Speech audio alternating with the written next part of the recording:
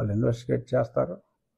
అందులో ఎటువంటి సందేహం పెట్టుకోవాల్సిన అవసరం లేదు. ప్రత్యక్ష రాజకీయాల్లోకి మరి ఇప్పుడు మరి సునీత తన వస్తుందా మరి వారి అమ్మగారిని తీసుకొస్తారా?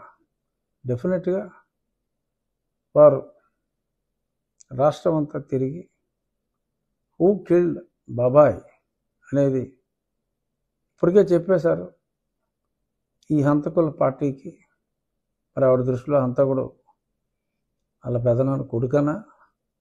లేకపోతే వాళ్ళ పెదనాన్న వాళ్ళ ముత్తాత? ఇంకొక ఫ్యామిలీ ద్వారా వచ్చిన ముని మనవడు కూడా మరి కొడుకే కాబట్టి ఆ కొడుకన? ప్రత్యక్షంగా చెప్పకపోయినా హంతకుల పార్టీ.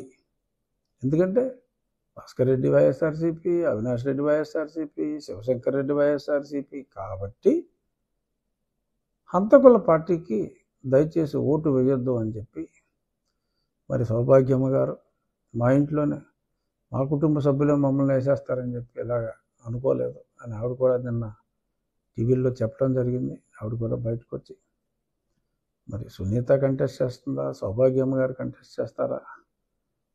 అన్నది అన్ని పార్టీల మద్దతు అయితే చేస్తారని చెప్పి ఏదో పేపర్లో చూసాం డెఫినెట్గా కడపలో పులివెందుల్లో యువజన శ్రామిక రైతు కాంగ్రెస్కి పోటీ చేసిన వాళ్ళని ఓడించాల్సిన అవసరం బాధ్యత కూడా కడప వాసుల మీద ఉంది అని చెప్పి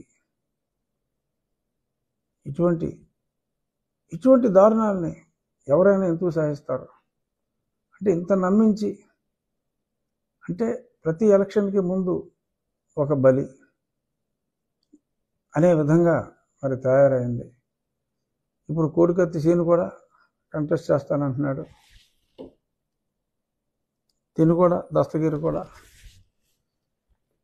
నాతో హత్య చేయించిన వాడే పోటీ చేసినప్పుడు నేను ఎందుకు పోటీ చేయకూడదని? సీను నాతో హత్య చేయించిన వాడే పోటీ చేసినప్పుడు నేను ఎందుకు పోటీ చేయకూడదని? దస్తగిరి అంటే మీరు సింబాలిక్ అనమాట అది.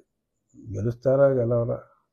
అనవసరం. కానీ గతంలో ఏదైతే అతని గెలుపుకి మార్గం అయిందో మేము కూడా చాలా ఫీల్ అయ్యాం. ఎలా లేపేశారా బాబు? ఈయనని. జగన్మోహన్ రెడ్డిని చంపాలని చూశారా అని. నమ్మాం. అందరిలాగానే. కానీ తను పడవలేదు. సరదాగా పొడిపించుకున్నాడని. నారాసురుడు వేయలేదు. వేసేసిన అసలు అసురుడు వీళ్ళే అని. ఎంత యాక్షన్ చేశాడండి బాబు? చిన్నాన్ని బాత్రూంలో టబ్ దగ్గర తలకొచ్చుకొని రక్తం పూసి ఏం ఆస్కార్ ఆస్కార్ కూడా బాగా అంత బాగా చెప్పారు. అంత ఆ చార్జ్షీట్ చదివితే మొత్తం తెలిసిపోతుంది. శంకరయ్య రే బాబు బాడీని మార్చకండి అని ఏం చెప్పాడు. ఇవన్నీ కూడా మనం చాలాసార్లు మాట్లాడుకున్నాం కాబట్టి రిపీట్ ఇది ఓన్లీ ఏదో సీరియల్ ముందు పాత సీరియల్ అలా లైట్గా పెడతారు కదా. లేడీస్ సీరియల్స్లో అలాగా. ఊరికనే ఒక రీవ్యాంప్ లాగా చెప్తున్నాను తప్ప ఇది అందరికీ తెలిసిందే.